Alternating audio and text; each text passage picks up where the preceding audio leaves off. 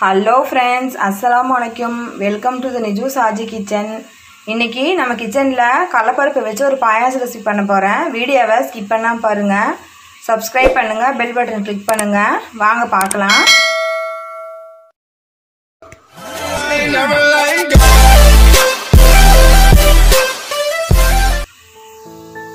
பாருங்க இந்த அளவுக்கு நான் வந்து கடலப்பருப்பு எடுத்து வச்சுருக்கிறேன். இதை வந்து நான் வேக வச்சுட்டு உங்களுக்கு காமிக்கிறேன். நான் கடலப்பருப்பு வேக வச்சு எடுத்து வச்சுருக்கிறேன். ரொம்ப கொலையாக வேக வச்சிடாதீங்க. மீடியம் பத்துக்கு வேக வைங்க. மூணு நாலு விசில் விட்டிங்கன்னா போதும். இது வந்து மிக்ஸி ஜாரில் போட்டு நம்ம வந்து அரைச்சிக்கலாம்.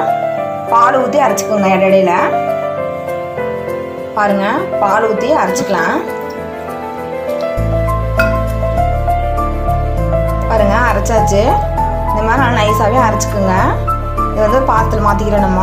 பாருங்கள் இந்த பாலத்துக்கு மாற்றியாச்சு நம்ம பால் விட்டு நல்லா கரைச்சிக்கலாம். நல்லா கரைச்சிட்டு தான் நம்ம கேஸில் வச்சு காய்ச்ச போகிறோம்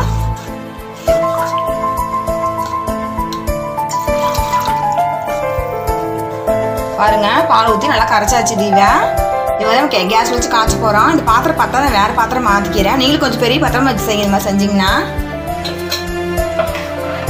பாருங்க நல்லா பால் ஊற்றி நல்லா கட்டி இல்லாமல் கலந்து வச்சுருக்கேன். இது நல்லா கொதிக்கணும். அப்பப்போ கிளறி விட்டுக்குங்க. அடி பிடிச்சிக்கும் போது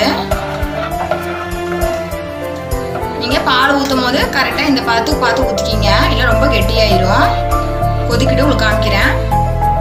நம்ம கொஞ்சமாக ஃபுட் கலர் போட்டுக்கலாம். சும்மா லைட்டாக போட்டுக்கலாம். போட்டெலாம் கொஞ்சம் பார்க்குறக்கு கொஞ்சம் நல்லா இருக்கும்.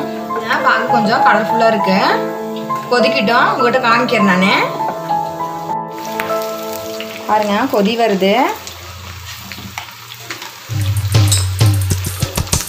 சர்க்கரை போட்டுக்கலாம். இனிப்பு எவ்வளோனா அவளை பார்த்துட்டு நீங்கள் போட்டுக்கோங்க சக்கரை. சக்கரை கரையிட்டோம். ஸ்வீட் இல்லாத கோவா பேக்கரிக்கு வாங்கி எடுத்துக்கோங்க இதுதான் ஸ்வீட்டுக்கு வந்து ரொம்ப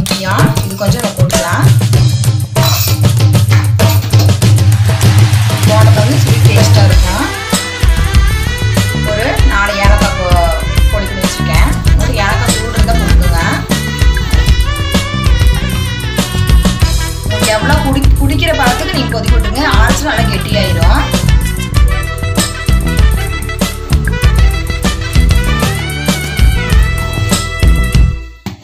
ரெடி ஆயிருச்சு. நம்ம வந்து திராட்சை திராட்சை திராட்சை ஊற்றிக்கலாம்